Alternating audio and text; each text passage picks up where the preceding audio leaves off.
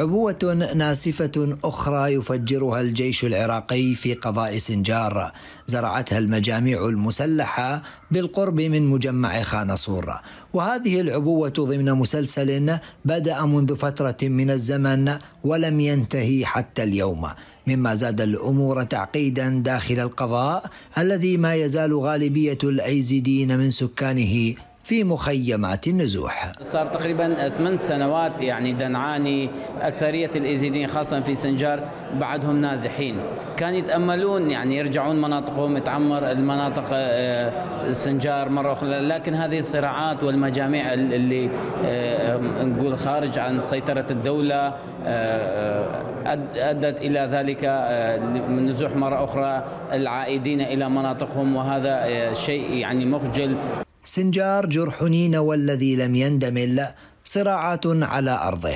وشعبه مشتت بآرائه السياسية. أما التدخلات الإقليمية فهي الأشد وطأة على استقرار الأوضاع هناك. يضاف إليها ملف عناصر البككه والموالين لهذا التنظيم والذين يرفضون ترك القضاء وجباله. اولا التداخل الكبير بين الأطراف السياسية سواء كانت المحلية أو الخارجية تعيق آه، بشكل كبير جدا. حلحلة ملف سنجار كذلك تواجد حزب العمال الكردستاني أيضا هذا عائق آه، ثاني. كذلك عدم وجود حوار مع الأطراف المجتمعية اليزيدية. اليوم الأطراف المجتمعية اليزيدية آه، خرجت آه، في مجموعة من التظاهرات التي ممكن أن تطالب برأي جديد داخل المجتمع اليزيدي وهو إبعاد كل الأطراف التي تعمل على منع عودة النازحين. ثمان سنوات ولم ينتهي ملف سنجار. أما اتفاقية بغداد وأربيل ما تزال حبرا على ورق. يضاف إليها الحراك الشبابي الذي انطلق مؤخرا. كلها خيوط متشابكة زادت من حجم العقدة التي تعرقل عودة الاستقرار.